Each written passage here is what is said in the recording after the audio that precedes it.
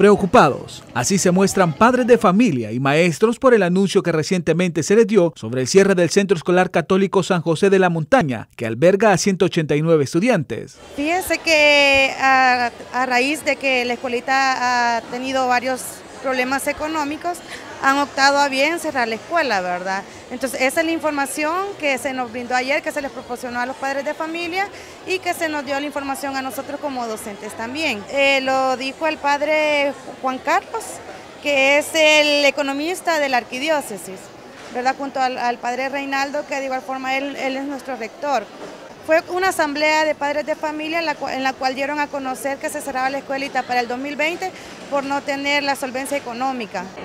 Reina, quien tiene estudiando a su hijo en ese centro educativo, dice estar preocupada por la decisión que han tomado de cerrar la escuela. Fue como un golpe eh, duro, ¿verdad? Un balde de agua fría porque no nos esperábamos esto realmente. Fíjese que eh, según tenemos entendido, el orden vino del arzobispado, según nos han informado por la misma situación, ¿verdad? que no hay recursos, no, no se puede mantener y, todo eso. Esa es la única explicación que nosotros hemos tenido hasta hoy.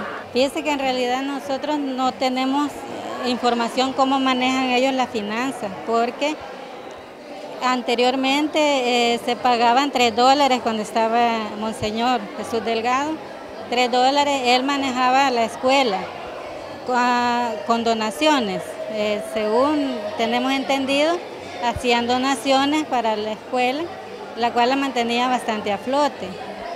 Eh, de repente que cambiaron las administraciones, entonces ahí se empezó a notar la, deficiencia. No sé en qué está el problema, si es la administración o realmente ya no hay la misma, eh, no sé, el mismo interés.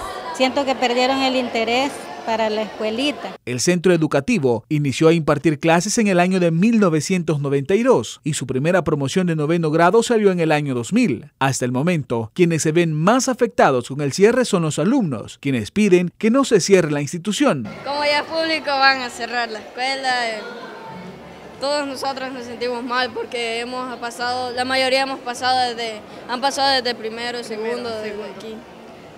Eh, hemos pasado buenos recuerdos, amistades, y se van, nos vamos a ir todos.